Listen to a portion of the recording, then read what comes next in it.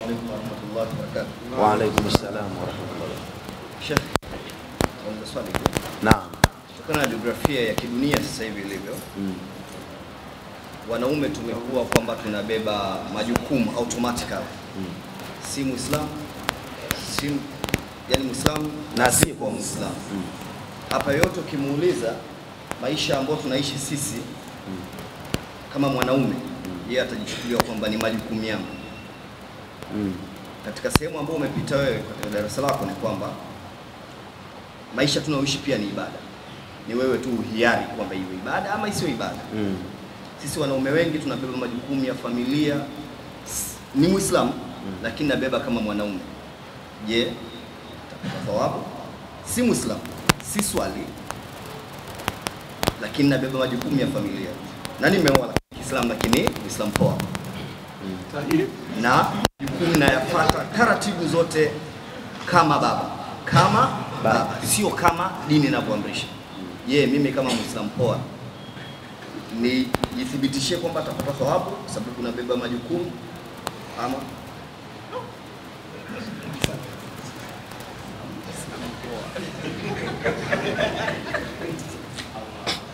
Allahu akbar. Mtume Muhammad alilisema hili katika sura ya Itlaq. Hadithi ilikuwa ndefu mpaka akafika akasema, mpaka tonge la mlo unalolitia katika kinywa cha mkeo ni swadaka. Ikiwa kwa mkeo, mwanao pia mjukuu wako pia, mpwao pia, mdogo wako pia. Sikwambii kumwangalia baba yako na mama yako. Kuhudumia familia ni ibada, lakini kuna sharti lizingatiwe, uwe ni Muislamu katika matendo yako, katika maneno yako, hata kama ulikuwa poa, hauja ritadi. Kuritadi maana yake nini? Ukaongea maneno au ukatenda maneno yanayokutoa kwenye dini. Kwa mfano, kuswali ni lazima, si ndio?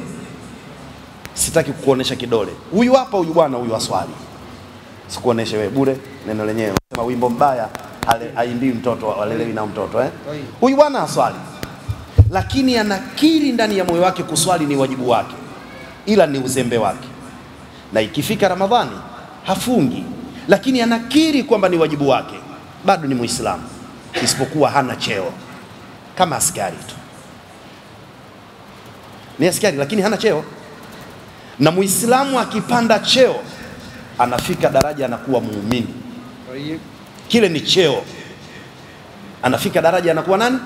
Muumini. qalat al-a'rabu amanna qul lam tu'minu walakin qulu aslamna walamma yadkhul al-imanu Mabedui wale Banu Abdul Madani walipokuja, kisa kirefu sikisemi chote, walitamba kwamba sisi ndio waumini wa sawasawa, sisi tutafaa kuwa mabodigadi wako, kwa sababu wale walikuwa ni watu warefu wanene. Kisa hicho sikisemi chote, walitangaza kwamba si mtume ndio sawa sawa na nini. Mwenyezi Mungu kama mtume, waambie nyinyi bado, semeni ni Waislamu tu, kwa sababu imani bado haijajikita sawa sawa katika nyoyo. Kwa hiyo matendo ya mtu ndiyo yanayompandisha daraja hata kufikia level gani ya uumini, na wanasema akishakuwa muumini wa sawasawa, huyu karibu yake ni kuwa mcha Mungu. Na nielewa sijui Yaani ukipanda ukiwa unafanya fanya ibada, we ni muumini. yani ukishakula umini wa sawasawa umekuiva, unaongezeka, unakuwa nani? Mcha Mungu. Ucha Mungu ukiwiva, unaingia kuwa ni walii.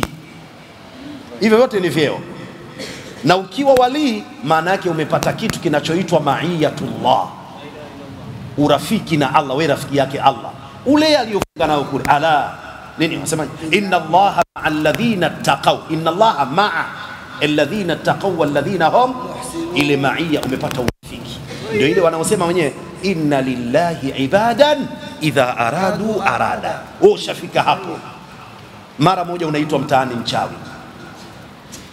kumbe wewe rafiki yake Mungu, kwa sababu maisha yako yote umejitupia kwa Mungu, kwamba mimi si lolote si chochote, mimi Mungu kila kitu changu.